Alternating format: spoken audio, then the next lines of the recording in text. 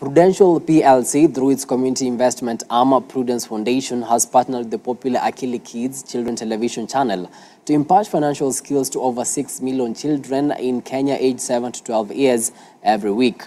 Announcing the partnership, Prudence Foundation Executive Director Marc Fancy said the goal of the initiative is to reach as many children as possible in the country. This new partnership with Akili Kids will help socialize and raise awareness of the Cha-Ching financial literacy program in the country, which is also currently being implemented in schools with Junior Achievement and the Ministry of Education. Through this partnership, we'll reach 6.5 million children weekly, uh, which is a huge amount.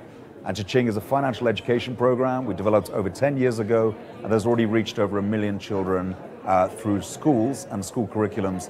And we also partner with Junior Achievement here in Kenya and the Ministry of Education to try and drive that. We believe that we have a responsibility as Prudential to transfer and empower our children to have financial literacy skills.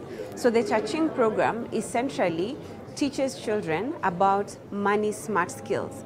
And we peg that on very simple and bite-sized content around earning, saving, spending, and donating.